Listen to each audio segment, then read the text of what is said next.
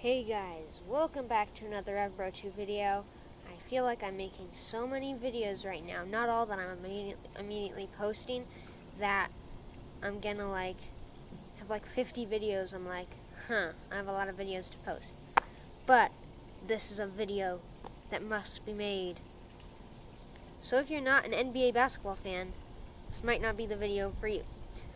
But, the NBA is doing this play-in tournament thing, and I don't know all the details about this, so this might be not the greatest video.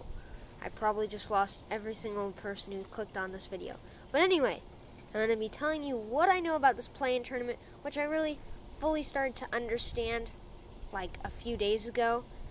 Um, by the time I post this, because I have so many videos to make, it might be years since I remember. Just kidding.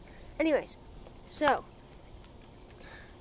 7 through 10 seed now will have to apparently play in. So 7, 8, 9, and 10 seed. If you don't know NBA playoffs that well, the 7 seed and 8 seed always just make it in because it's 1 through 8, 1 versus 8, you know. And anyways, but this year the 9 and 10 are going to have a chance. So, this is what I read on like CBS Sports or some hopefully reliable thing is that the 7 seed and 8 seed are going to play against each other. Also, one thing I don't know is if the if it's going to be like a 3 game series or if it's just going to be one game. But anyways, the 7 seed is going to play the 8 seed. The winner will get the 7 seed in the playoffs. So let's say, say the 7 seed wins, they'll actually get the 7 seed. But the 8 seed season is not over. They'll still have a chance, and we'll get back to that in a second. Then the 9 seed and 10 seed will play. Um, and then the winner of that won't get a specific spot yet. They'll just move on to the next round. Well, so let's say the 9 seed wins, then the 10 seed season is over.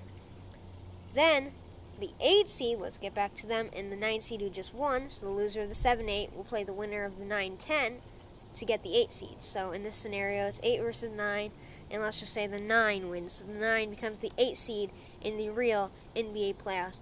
So uh, currently, let's just do the Western Conference. I believe the seeds are 7 Mavericks, 8 Grizzlies, 9 Warriors, and 10 Spurs. By the time the NBA playoffs comes, that could totally change.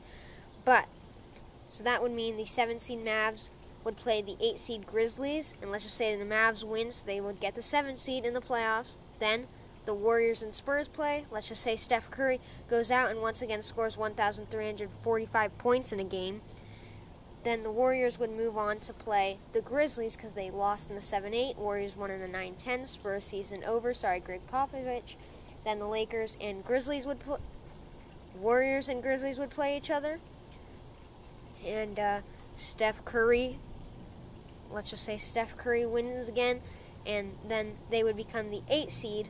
And of course, the Mavericks already had gotten that 7 seed, so Warriors become the 8 seed.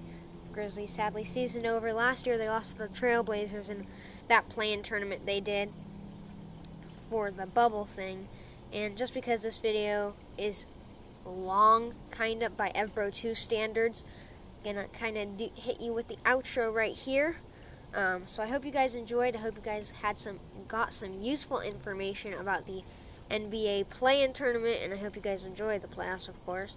And uh, I hope this is not the last NBA slash sports um, video. If you guys want to see more NBA slash sport videos, hit that like button, of course, if you're new. If you want, hit that subscribe button, and I'll see you in the next video.